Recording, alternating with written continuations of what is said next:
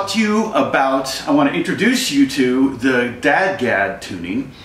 Um, it's a very common tuning for fingerstyle guitar players. In fact, I think it's probably, other than open D, it's probably the most common um, tuning for fingerstyle players. And um, they've been using it a lot since the 60s. It kind of finds its origins in Ireland and Celtic music. Um, and uh, that's kind of why I'm playing my Lowden today because this guitar was made in, uh, this, it's an F22? Yeah, F22.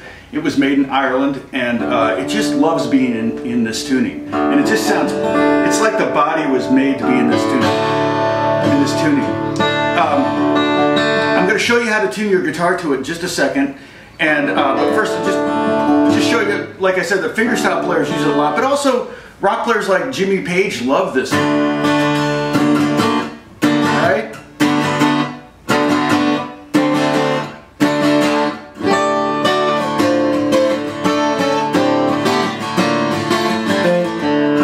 See how easy that is? That's actually a really easy thing to do in DADGAD tuning. If you were to try to do that in open tuning, well, you probably in standard tuning, you probably couldn't do it. But um, so that's that's kind of where I'm going to go ahead and tune right now. Back up to standard uh, tuning. E at Denny's Get Bad Eggs, right? E A D. Oops, I already got A there. What am I doing? And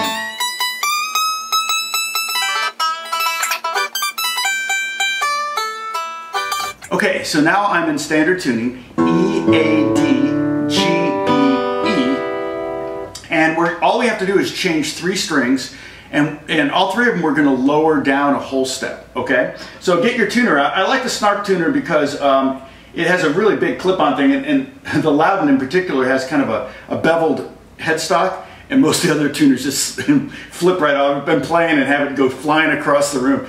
Uh, so this one actually has a pretty good, nice deep uh, clip, uh, clip on here. So, so what I'm going to do is I'm going to tune my E string, my bottom string, down a whole step to E to D, okay? So you'll need a chromatic tuner. Okay, and you might have to adjust the other strings because when you loosen strings, uh, it changes the tension on your neck. So my other strings kind of went sharp as I went flat on the lower on the low E string. And I'm going to go down on the B string, the second string, I'm going to take that down to A. Okay? And that's the middle part of GAD. Okay, so we have D, A, D, there's our dad, power chord. Part of the reason why it's a really popular um, tuning for fingerstyle players, you'll see a lot of guys kind of come over the top and play power chords or whatever, I can't do that kind of stuff, but, uh, but you can get like the root fifth root thing going on on the bottom really easily. And then, and then we go to the top E string and we take that down to D as well. So down a whole step, loosen the string, Now everything's messed up, okay? So you can't, the things you know in standard tuning will not work in DADGAD. Like if I were to play like an E chord here, um, it's going to sound a little on the, it's not going to sound like an E chord. See, or if I play a G chord, it's not going to work, okay? But DADGAD is not so much about strumming, although that that's kind of what Jimmy, uh, Jimmy Page did there. It's more about fingerstyle. And it's really what I, I think is, DADGAD really reveals itself when you start experimenting. And I'm going to show you a couple little things. First off, I'm going to show you how to play a D5 chord, okay? Because right now we have a D sus chord or a D suspended fourth chord. We have a D, A, D, G, A, D, name of the tuning, okay? But if we were to to simplify that just to three notes, because we only have three notes there, D, G, A, that would be, that's a sus chord. And that wants to resolve to this. Uh, let's see. So it creates this tension, it's a mild tension, but it creates a tension that wants to be resolved to major or it can resolve to minor okay? But, but by itself, all open, nothing but zeros, it's a D sus chord, or D sus 4, okay? Because that, that uh, G, that's the sus, is the fourth note in the D scale. Check this out. D, E, F, G. And there's the four. One, two, three, four. And then so we have D sus. To get rid of that and to bring it down to a simple D5 so it's nothing but D's and A's, you put your first finger on the second fret of the third string and that's a big nice and I would suggest this moving that finger around and playing around with that.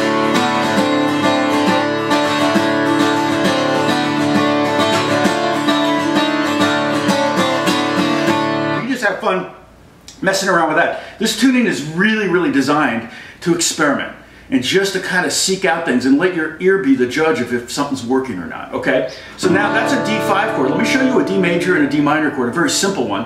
Uh, if we want a D major chord, we just put our third finger over here on the fourth fret of the fourth string and that gives us our F sharp. So now we have, we have an A, we have a D, F sharp, and we have a D. So that's our happy minor, all I do is I take that F sharp and I go down a fret. So instead of playing at the fourth fret, I'm going to put my second finger on the third fret of the fourth string, and that's going to be an F. So I'm going to have D, F, A.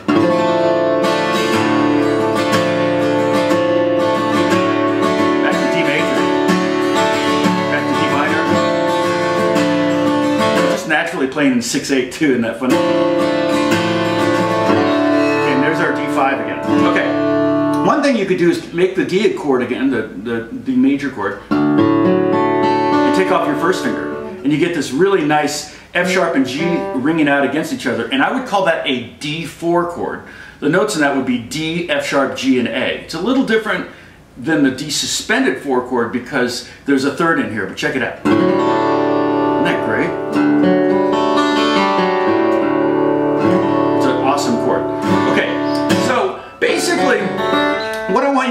Notice is that we have three D strings, right? We have three, we've, normally when you're, you're in standard tuning, you have five different notes. E, A, D, G, B, and there's another E, uh, but five different notes. In DADGAD, you only have three notes, and half of them are Ds, and two, two more of them are As, and there's one G. So anything we do to one of the D strings, we can do to all of the D strings, because if it works over the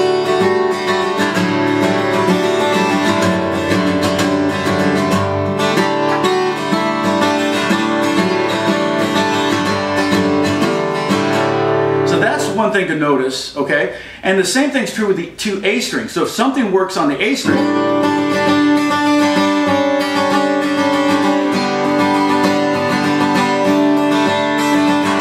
work on both the A strings.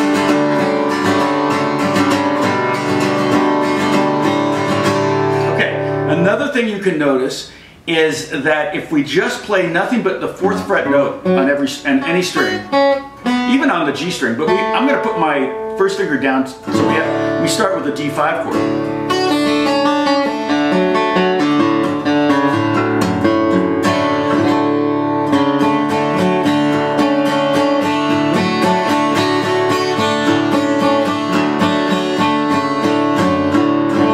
All of those create a very major tonality. We have a lot of F sharps and we have a lot of C sharps. So that makes a very D major tonality.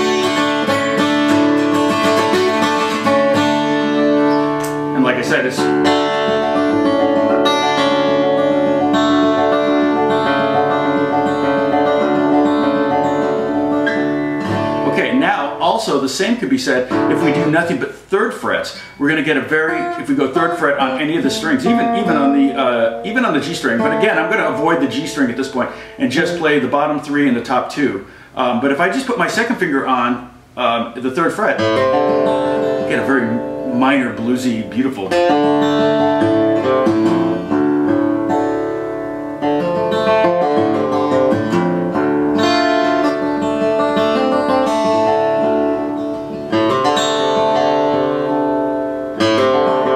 Very game score kind of sounding, right? Uh,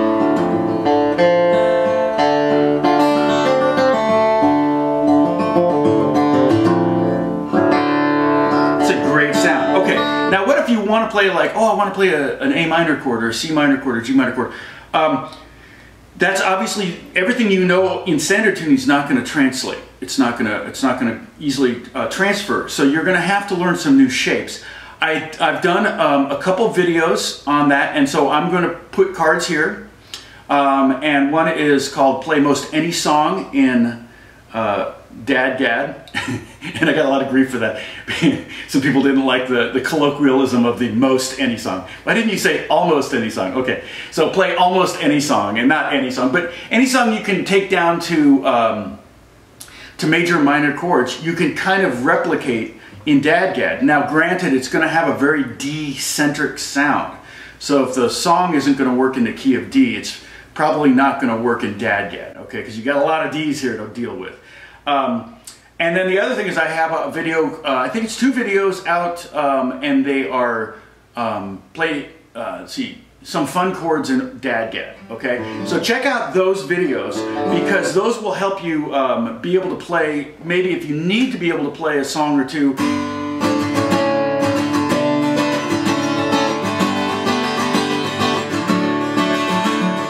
able to strum a song out um, and keep your guitar in DADGAD tuning, that's great. But mainly, really what I, what I want to do is I want to encourage you just to experiment. Maybe videotape, you know, film yourself or um, or record yourself messing around. I usually, when I'm in the studio, I'm almost always have, when I'm experimenting, I almost have the tape running. Uh, the tape, I mean, you know, digital, digital tape. Uh, so that just in case I do something like, oh man, that was cool, it's not like gone, it's there. I can still maybe try to figure it out. So hopefully this helps you. Hopefully it makes gives you a new excitement if you're kind of in a rut with the guitar. Hopefully this will give you some new road to travel down. That's the beauty of this instrument. Um, it's just, there's, there's so many styles and so many different tunings and so many different types of guitars and, and, and styles of music that you can play and it's just an unlimited instrument. I always say it's, it's one of the easiest instruments to start on, but it's pretty much impossible to master it. I mean, you've got masters in all these different genres on the guitar, but no one has mastered all the genres on guitar. And so it's just, a couple guys have come close and I'm not one of them. but,